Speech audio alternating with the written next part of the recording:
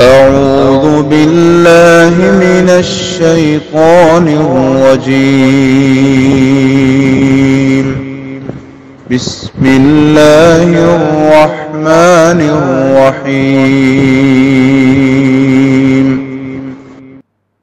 السلام عليكم ورحمة الله وبركاته.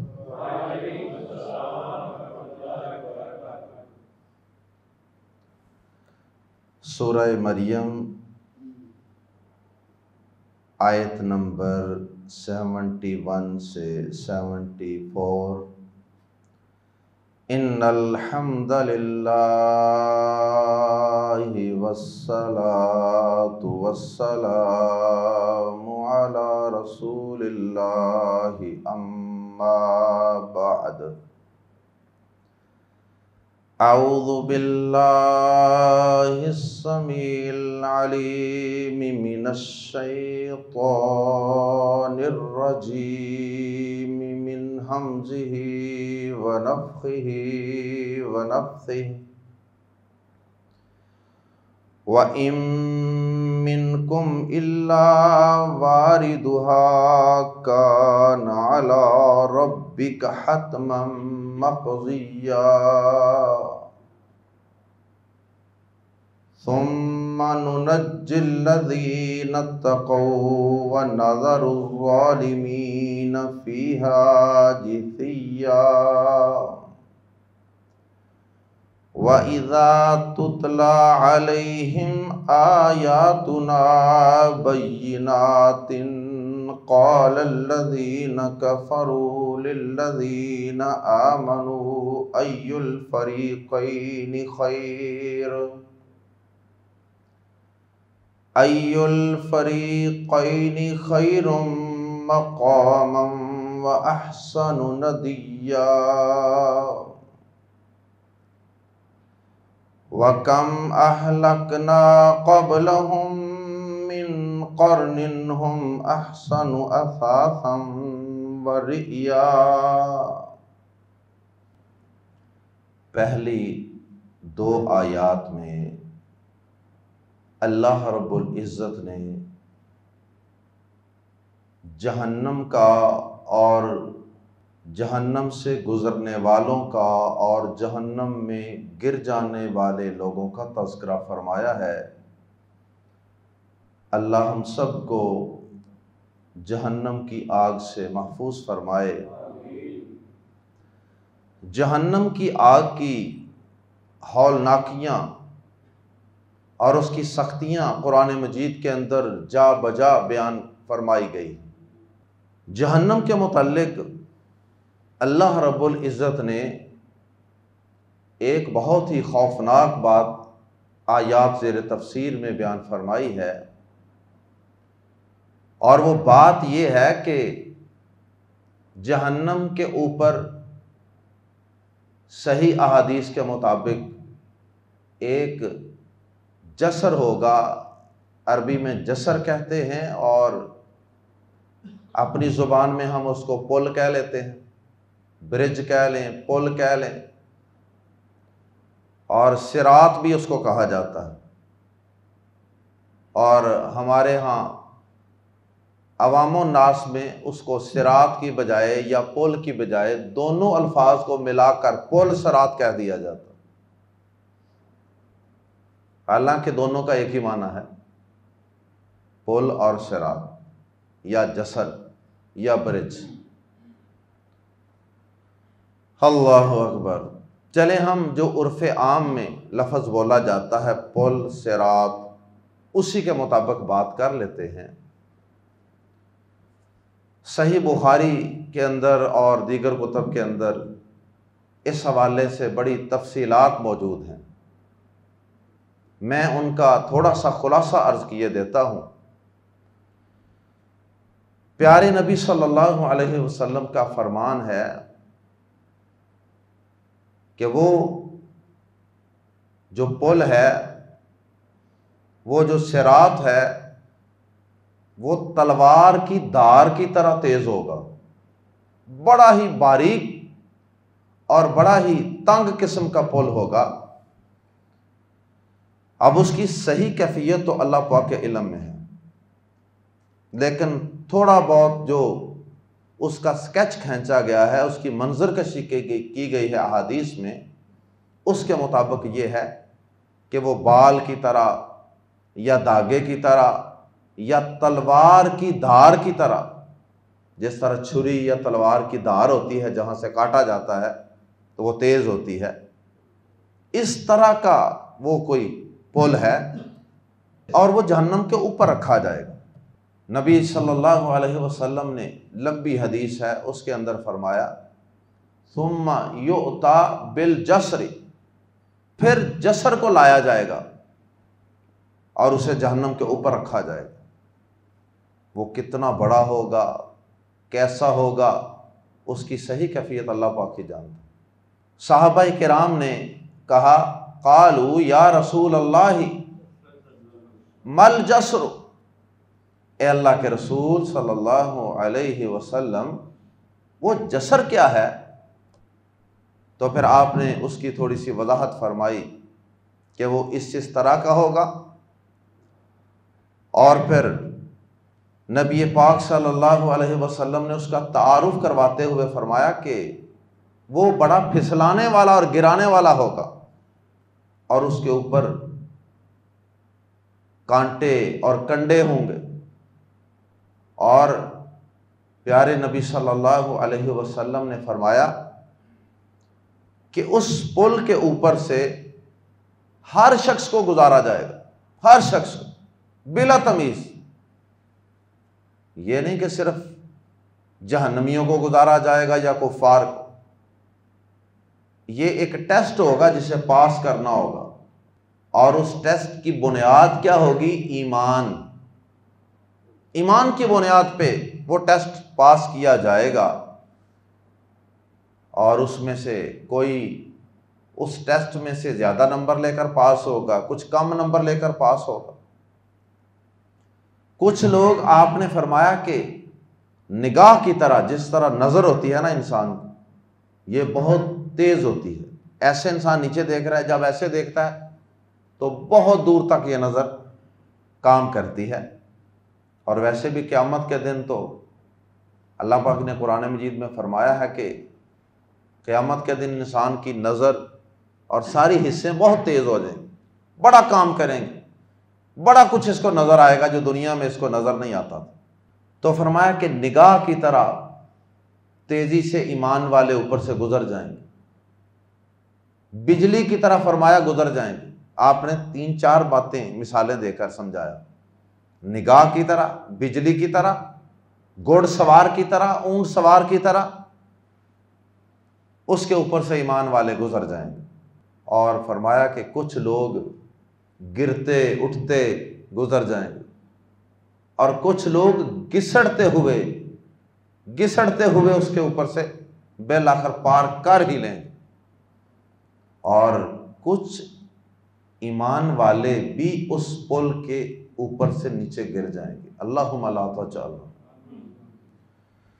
اللہ اکبر۔ کچھ کافر بھی گر جائیں گے اور کچھ گناہ گار باغی، سرکش قسم کے، نافرمان قسم کے، بے عمل قسم کے مسلمان، ایمان والے بھی اس میں گر جائیں۔ اللہ اکبر۔ پیارے نبی صلی اللہ علیہ وسلم نے فرمایا کہ جب ایمان والے گزر جائیں گے نا، تو وہ دیکھیں گے ایک دوسرے کو کہ بھائی کون کون ہے جس نے یہ ٹیسٹ پاس کر لیا۔ تو ایمان والے دیکھیں گے کہ وہ فلاں شخص نہیں نظر آ رہا۔ وہ فلاں شخص جو ہمارے ساتھ نمازیں پڑھتا تھا اللہ پاک سے کہیں گے، یا اللہ، وہ ہمارا فلاں فلاں ساتھی جو ہمارے ساتھ نمازیں پڑھتا تھا، ہمارے ساتھ روزے رکھتا تھا، ہمارے ساتھ نیک امال کرتا تھا۔ اللہ اکبر۔ وہ نظر نہیں آ رہا۔ یعنی ایک قسم کی وہ اپنے ان بھائیوں کے لیے سفارش کر رہے ہوں۔ تو اللہ پاک فرمائیں گے کہ اچھا دیکھ لو پھر جہنم میں۔ وہ جہنم میں گر گئے ہوں گے۔ جہنم میں دیکھ لو کہ جن کے دلوں میں ایک دینار کے برابر، دینار ایک سکہ تھا نا، ایک دینار کے برابر بھی جن کے دلوں میں ایمان ہے نا، ان کو نکال لو۔ اب وہ نکالنے کا طریقہ کیا ہوگا؟ فرشتے نکالیں گے، جہنم کے دروگے جو ہیں، ان کو اللہ پاک یہ آرڈر دیں گے۔ پوری تفصیلات اللہ پاک بہتر جانتے ہیں۔ اللہ پاک فرمائیں گے جن کے دل میں ایک دینار کے برابر بھی ایمان ہے نا، انہیں بھی نکال لو۔ تمہارے ساتھ نمازیں پڑھتے تھے، روزے رکھتے تھے نیکا مال کرتے تھے، نکال لو۔ پھر مزید سفارش ہوگی۔ ایمان والے بھی سفارش کریں گے نا۔ پھر کہا جائے گا کہ چلو، آدھے دینار کے برابر بھی جن کے دلوں میں ایمان ہے نا، انہیں بھی نکال لو۔ حتیٰ کہ کم کرتے کرتے پھر اللہ پاک فرمائیں گے ایک ذرے کے برابر اکول ٹو اے پارٹیکل ذرہ۔ اس کے برابر بھی جس کے دل میں ایمان ہے نا، اسے بھی نکال لو پھر انبیاء، صدیقین شہدا سفارش کریں گے۔ اور پھر اللہ پاک مزید لوگوں کو نکالیں گے۔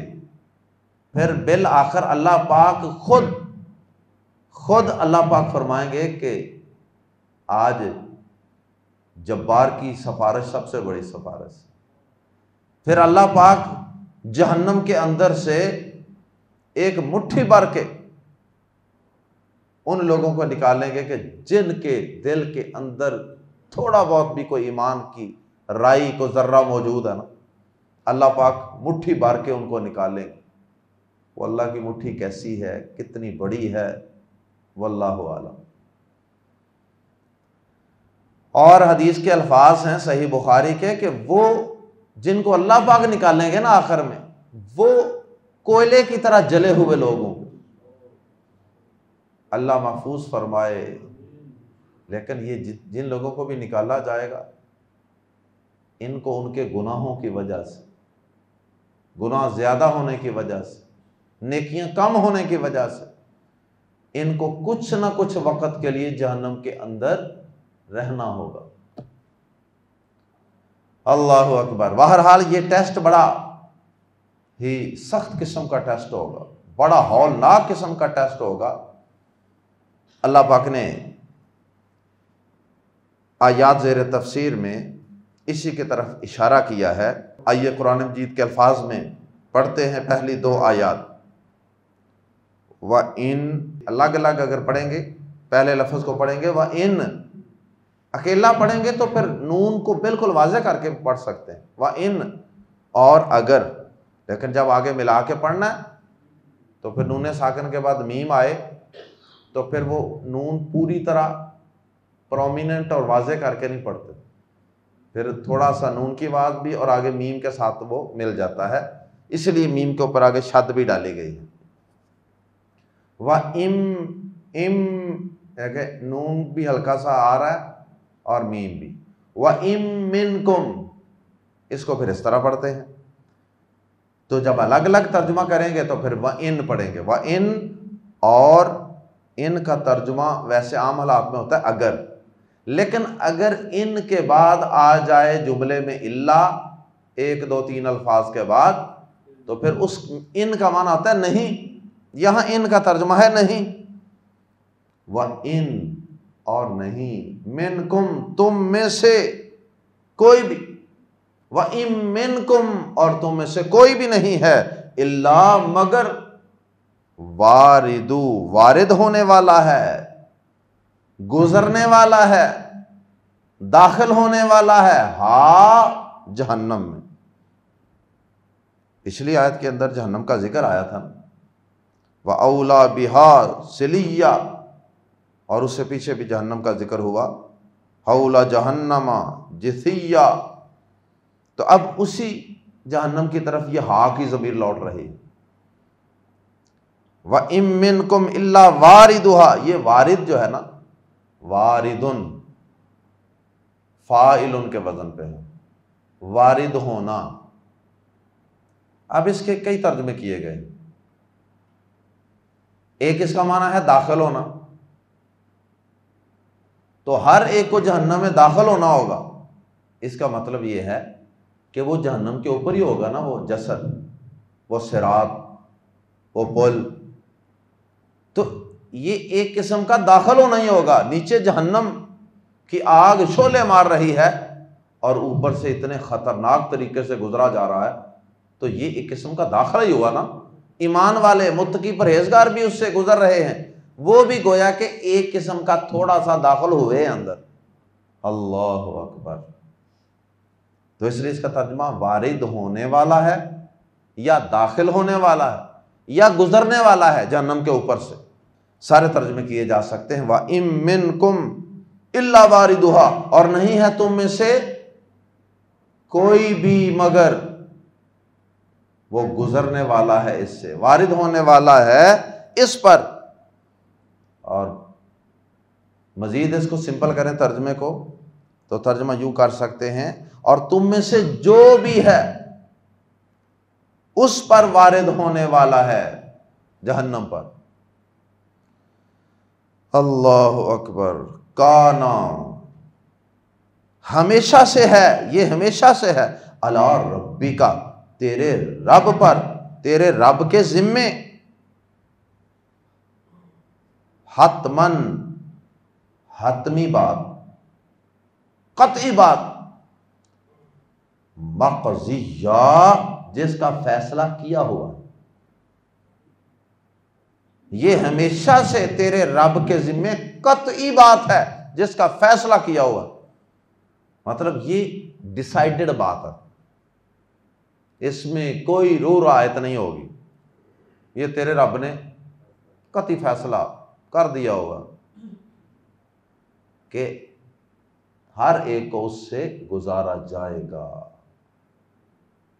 اللہ اکبر۔ اللہ اکبر۔ اللہ ہم پہ رحم فرما دینا۔ ثم پھر ننجی۔ پھر ہم نجات دیں گے۔ پھر ہم بچا لیں گے۔ ننجی ہم بچا لیں گے۔ پہلا نون ہم کا معنی دے رہا ہے۔ یونجی وہ بچا لے گا۔ تو نجی تو بچا لے گا۔ انجی ننجی ہم بچا لیں گے۔ ثم ننجی پھر ہم بچا لیں گے۔ اللہ ان لوگوں کو جو اتقو، ڈر گئے۔ متقی، گناہوں سے بچنے والے، اللہ سے ڈرنے والے۔ اللہ جعلنا منہم۔ ثم ننجی الذین اتقو پھر ہم ان لوگوں کو بچا لیں گے جو ڈر گئے۔ وہ نظارو اور ہم چھوڑ دیں گے۔ یازارو تازارو آزارو نازارو و نازارو اور ہم چھوڑ دیں گے۔ الظالمین ظالموں کو۔ فی ہا اس میں یعنی جہنم میں۔ پھر ہم ان لوگوں کو بچا لیں گے جو ڈر گئے اور ظالموں کو اس میں چھوڑ دیں گے۔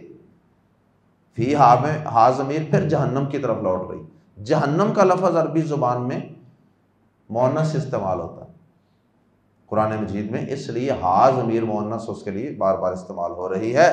فی ہا اس میں جتھی یا گھٹنوں کے بل آن دیر نیس۔ یہ گھٹنوں کے بل کا مطلب ہے کل بھی اس یہ لفظ آیا تھا۔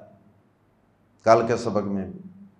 یہ ذلت و رسوائی کو ظاہر کرنے کے لیے یہ لفظ استعمال ہوا۔ کہ یعنی گھٹنے زمین پہ مندے مارے ہوئے۔ ذلت و رسوائی۔ اللہ محفوظ فرمائے۔ یہاں سے آگے اللہ پاک نے جو اگلی دو آیات ہیں ان کے اندر اللہ پاک نے کفار کا فخر و غرور اور ان کا ایمان والوں سے اپنے آپ کو سپیریئر اور بہتر سمجھنا، یہ ان کی جو ایک خام خیالی تھی، اس کا اللہ رب العزت نے تذکرہ فرمایا۔ کافر اپنی دنیاوی خوشحالی کی بنا پر، دنیاوی مال و دولت اسٹیٹس چودراہٹ، افرادی قوت، ڈیرے شیرے مجلسیں ان کی بنیاد پر وہ کافر کافر جو ہیں وہ ایمان والوں پر فخر کرتے جب قرآن مجید کی واضح آیات ان کو سنائی جاتی، دلائل دیے جاتے، عقلی اور نقلی دلائل، قطعی دلائل اور مضبوط قسم کے دلائل و براہین ان کے سامنے پیش کیے جاتے، جن کو وہ جٹلا نہ سکتے۔ مثال کے طور پہ گزشتہ آیات میں ہم نے پڑھا کہ وہ کہتے تھے کہ کیا واقعی ہم جب مر کر مٹی ہو جائیں گے تو کیا واقعی ہم اٹھائے جائیں گے؟ تو اللہ پاک اس کا جواب قرآن مجید میں بہت سے مقامات پہ مختلف انداز سے دیتے ہیں، جن میں سے ایک کامن سا سٹائل اور انداز یہ ہوتا ہے کہ جس نے تمہیں پہلی دفعہ پیدا کیا تھا نا، جب تم سرے سے موجود ہی نہیں تھے۔ اس رب نے جب تمہیں اس وقت پیدا کر لیا تھا اور پیدا بھی پھر کہاں سے کیا تھا؟ اس پہ بھی غور کر لو۔ تو وہ رب کیا تمہیں دوبارہ پیدا کرنے پر قادر نہیں ہے؟ تو اب اس طرح کے جب دلائل، قطعی دلائل، مضبوط اور ٹھوس دلائل پیش کیے جاتے، تو ان کے کافروں کے پاس کوئی علمی اور ٹھوس جواب تو نہیں ہوتے۔ سیٹسفیکٹری ان کے جواب نہیں ہوتے تھے، تسلی بخش۔ تو پھر وہ کیا کرتے؟ پھر وہ یہ بات کرتے، لو جی ہمارے پاس تو اتنا مال ہے، اتنی دولت ہے، اتنا اسٹیٹس ہے، چودراہٹیں ہیں، مجلسیں ہیں، بڑی بڑی پرے پنچایتیں ہیں، بڑی ٹیپ ٹاپ ہے۔ اور تمہارے پاس کیا ہے؟ جو کمزور مسلمان ہوتے ہیں نا ان کو پھر اس طرح کہہ کے وہ ان کو پریشان کرتے، کرنے کی کوشش کرتے اور اپنے آپ کو ان سے بہتر اور حق پر قرار دیتے کہ بھائی یہ ہمارے حق پر ہونے کی دلیل ہے۔ اگر دیکھو، اگر یہ تمہارے تمہارے پاس جو دین ہے نا، اگر یہ حق ہوتا نا، یہ عقیدہ، یہ قرآن، یہ دین اگر حق ہوتا نا تو پھر جس طرح دنیا کی نعمتیں ہمارے پاس زیادہ ہیں، اسی طرح پھر تم سے پہلے آگے بڑھ کر ہم اس دین کو قبول کر چکے اللہ اکبر، حالانکہ دنیاوی مال و دولت یہ حق پر ہونے کی دلیل قطن نہیں، لیکن کافر یہ سمجھے بیٹھے تھے، یہ ان کی خام خیالی تھی۔ اللہ اکبر، اور یہ سوچ صرف پیارے نبی صلی اللہ علیہ وسلم کے دور کے کفار کی نہیں تھی۔ اس سے پہلے جو کفار تھے نا، حضرت نو علیہ السلام کے دور میں، حضرت ابراہیم علیہ السلام کے دور میں، اور دیگر انبیاء کرام، تقریباً تقریباً ہر نبی کے دور میں جو نہ ماننے والے ہوتے تھے، جو ضدی اور اڑیل اور سرکش ہوتے تھے نا، وہ انہی دنیاوی چیزوں کی بنیاد پر ایمان والوں پر اپنا فخر جتاتے تھے اور اپنے آپ کو صحیح سمجھتے تھے۔ جیسا کہ قرآن مجید میں بے شمار مقامات پہ اس کا تذکرہ موجود ہے۔ قرآن مجید کے الفاظ میں پڑھتے ہیں، وا ایزا اور جب تلا پڑی جاتی ہیں، تلا اس نے پڑھا۔ یتلو وہ پڑھتا ہے تلا یتلو۔ ایک ماضی ہے، ایک مظاہرے اور یہ یتلا، یتلو سے یتلو وہ پڑھتا ہے اور یتلا پڑھی جاتی ہے۔ اور اس سے مونس کے لیے یوتلا کی یا کی بجائے تا لگی ہوئی ہے۔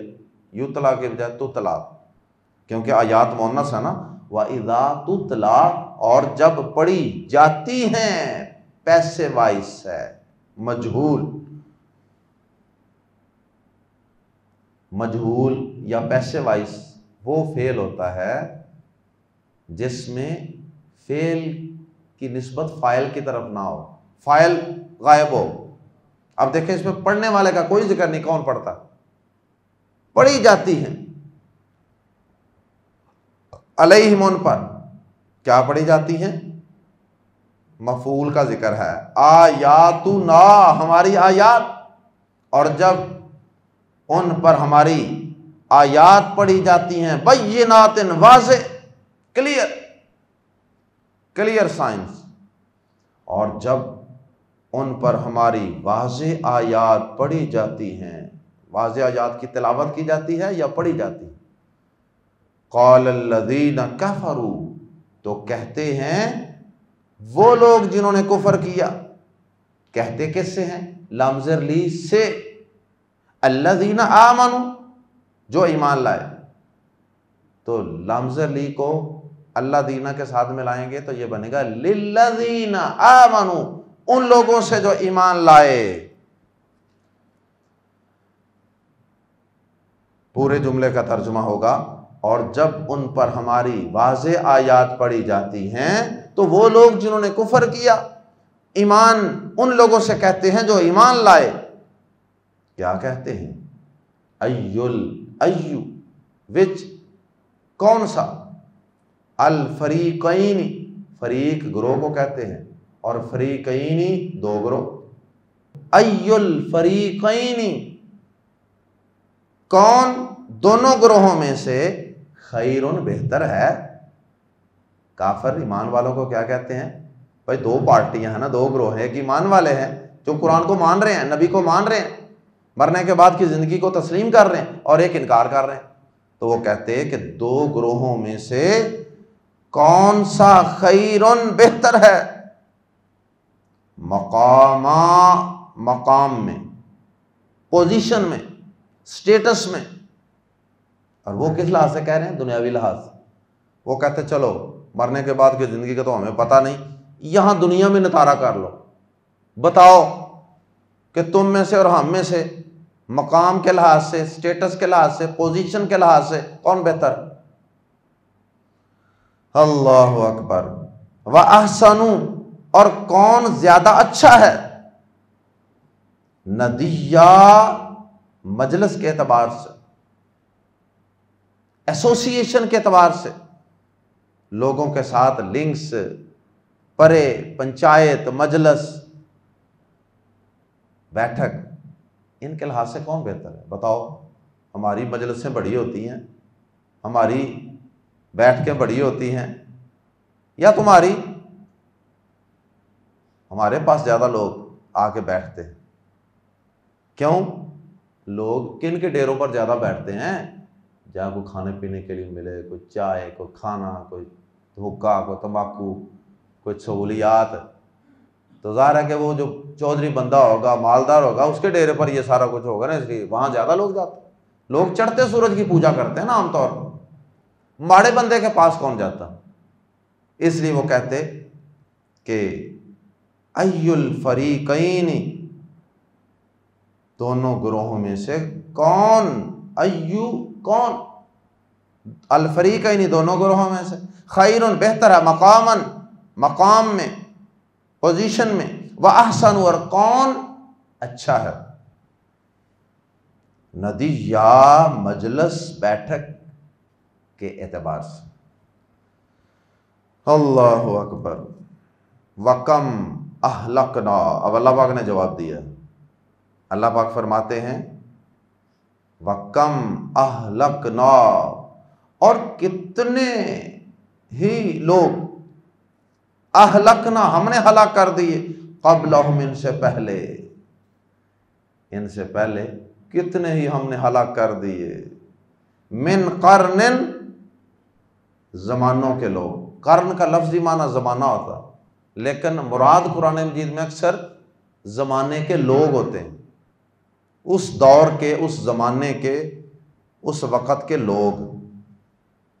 کم اہلکنا قبل من قرن۔ اس کی جمع قرون آتی ہے۔ قرون۔ اردو میں بھی یہ لفظ استعمال ہوتا ہے۔ قرون اولا۔ قرون اولا۔ یعنی پہلے پہلے دور کے لوگ۔ پہلا زمانہ۔ قرون اولا کے مسلمان۔ اللہ اکبر. وکم اہلکنا قبل من قرن. اور ہم نے ان سے پہلے کتنے زمانوں کو ہلاک کیا کی بجائے ترجمہ کریں گے کتنے زمانوں کے لوگ ہلاک کیے. کتنے زمانوں کے لوگ ہلاک کیے؟ ہم وہ آسانو کہیں اچھے تھے. ہم آسانو وہ کہیں اچھے تھے. وہ زیادہ اچھے تھے. اساسن اساسن اساسا سا نرمی سے پڑھتے ہیں۔ اساسن اثاثے میں اثاثہ اردو زبان میں استعمال نہیں کرتا ایسٹس۔ اللہ اکبر۔ اثاثن ساز و سامان۔ اثاثہ ساز و سامان کو کہتے ہیں۔ جو آدمی پراپرٹیاں بناتا ہے، مال، دولت۔ و ریئن ریئن ریاکاری اسی سے ہے، دیکھنا، دکھاوا۔ کتنے ہی ان سے پہلے، کتنے ہی زمانوں کے لوگوں کو ہم ہلاک کر چکے ہیں جو کہیں بہتر تھے۔ ان سے تو کہیں بہتر تھے وہ۔ کس لحاظ سے؟ دو چیزوں کے لحاظ سے۔ اثاثن اور ریئن۔ ملا کے پڑھیں گے تو اثاثم و ریئن۔ ساز و سامان میں اور دکھنے میں۔ دکھنے میں، نظر آنے میں ٹیپ ٹاپ میں، وہ ان سے کہیں اچھے تھے۔ اللہ اکبر، جب ان سے زیادہ مال و دولت والے، زیادہ اچھے سٹیٹس والے، زیادہ اچھی ٹیپ ٹاپ والے لوگ، ان کو ہم نے ہلاک کر دیا کفر اور سرکشی کی وجہ سے، نبیوں کی مخالفت میں کھڑے ہونے کی وجہ سے، تو یہ کس کھیت کی مولی ہے یہ کس کھیت کی مولی ہے یہ مکہ کے مشرق، یہ مکہ کے کافر، یہ کس کھیت کی مولی ہے جو اتنا اکڑ رہے ہیں اور تکبر کر رہے ہیں اور ایمان والوں کو کمتر قرار دے رہے ہیں اور اپنے آپ کو ان سے بہتر قرار دے رہے ہیں۔ اللہ اکبر۔ اللہ پاک ہم سب کو آجزی عطا فرمائے اور اللہ ہمیں فخر و غرور اور تکبر سے محفوظ فرمائے۔ تکبر ایمان کے اندر بھی ہوتا ہے، تکبر امال کے اندر بھی ہوتا ہے۔ تو کسی چیز کے اندر بھی انسان کو تکبر نہیں کرنا چاہیے۔ امال کے اندر بھی ہوتا ہے، علم کے اندر بھی تکبر ہوتا ہے۔ کئی لوگوں کے پاس چار لفظ ان کو آتے ہیں نا، تو وہ ایسے عجیب و قریب طریقے سے دوسروں سے بات کرتے ہیں جیسے جناب میں پتہ نہیں کتنا بڑا عالم۔ اللہ تعالیٰ ہم سب کو آجزی عطا فرمائے۔ اور اللہ پاک ہمیں قیامت کے دن جہنم کے پل سے، سرات سے اللہ پاک ہمیں اپنی رحمت سے، خیر و عفیت سے گزار دے۔ اللہ پاک ہمیں جہنم کی گرم لو سے بھی محفوظ فرمائے۔ ہم بہت کمزور ہیں۔ ہم جہنم کی آگ کو ایک لمحے کے لیے بھی برداشت نہیں کر سکتے ہیں۔ اے اللہ، اپنی رحمت سے اے اللہ، اس قرآن کی برکت سے۔ اے اللہ، اس قرآن کی محبت کی برکت سے۔ اس کو پڑھنے، پڑھانے کی برکت سے۔ اے اللہ، تو ہم سب پہ اپنی رحمت فرما دینا۔ اور ہم کو جہنم سے محفوظ فرما لینا۔ اور انبیاء کرام کا ساتھ نصیب فرما دینا۔ سبحانک اللہم و ابی اشہد اللہ الہ الا انت، استغفرک و اتوب الیک۔